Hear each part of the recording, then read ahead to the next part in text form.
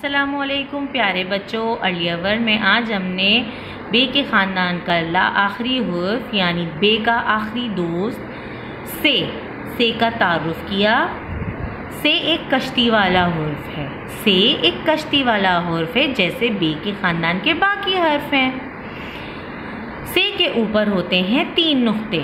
से के ऊपर होते हैं तीन नुक्ते। से पे के जैसा ज़रूर लगता है, पर से के ऊपर नुक्ते होते हैं और पे के नीचे नुक्ते होते हैं। से के ज़ख़ीरे अल्फाज, से की कोई नज़म नहीं होती। से के ज़ख़ीरे अल्फाज हैं, से से सुरैया। जब आसमान में बहुत सारे सितारे एक साथ होते हैं तो हम उन्हें क्या कहते हैं? सुरैया कहते हैं। से से समर, से से साबुत, अंडा देखिए, दो तस्वीर हैं यहाँ पर। एक अंडा टूटा हुआ है और दूसरा साबुत है। से से साबुत, से से समर।